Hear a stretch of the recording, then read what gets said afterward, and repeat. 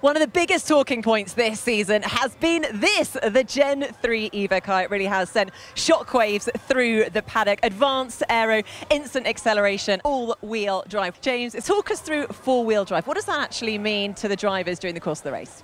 It's another step in technology for Formula E.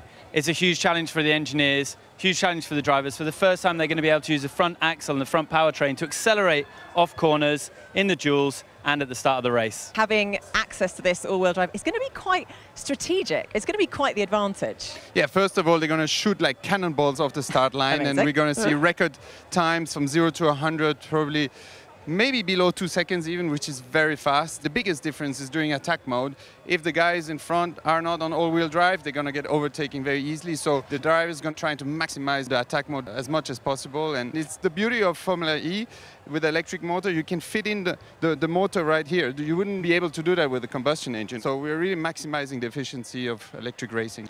Another big change to this season are these, the tyres. Completely different compound. What do we learn from testing? What's the feedback been from the drivers? It's very, very difficult to get these tyres in the window. They've changed the compound, so the actual stiffness and the chemicals they use to make the tyre are different.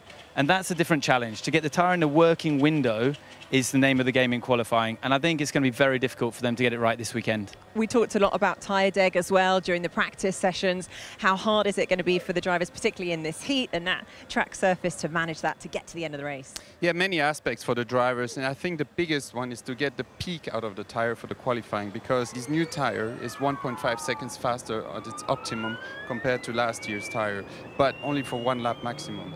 Used to be that you could do the laps repetitively and there was not much deg. So that's for the qualifying. Then for the race, obviously, there's a big drop at the beginning, then a bit less, and then a bit more at the end. So let's see how the, the drivers manage the thermal aspect and the wear as well. So they want to maximize the attack mode to keep a lot of juice in the tire as well to be able to overtake most drivers. So it's going to be very strategic. Last year the tires were not so so much an, uh, a, a thing for the strategy, but now it's a big effect. Let's talk about the changes to the aero as well. It's definitely had a bit of a nose job, which I'm very much in need of. Um, James, point us out the big changes that we can see. So the front wing, we saw many times in the last few years, a lot of damage in this area, and it's been reinforced.